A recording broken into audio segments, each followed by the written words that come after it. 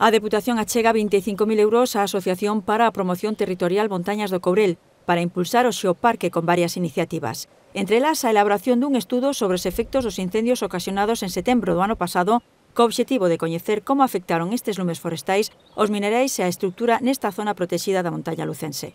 Concretamente, a colaboración da Deputación permitirá a entidade recoller toma de mostras sobre o terreo, o seu análise en laboratorio e posteriormente a publicación dos resultados do estudo en base a datos analíticos para avaliar os efectos producidos no patrimonio xeolóxico a consecuencia da vaga de lumes. O presidente da institución, José Tomé, asinou un convenio de colaboración co máximo responsable da asociación, Roberto Castro, que tamén prevé, grazas a esta chega da institución provincial, a elaboración dun cálculo das reservas de carbono presente no chan da Devesa da Rogueira, entre outros aspectos. Tome Roca valorou a importancia deste territorio para chegar á provincia de Lugo turistas que buscan natureza e destinos tranquilos e non masificados, ademais de persoas interesadas na xeoloxía.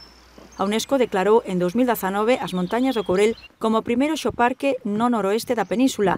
Conta con 23 vinadoiros, 5 museos e centros de interpretación e 189 km de sendeiros.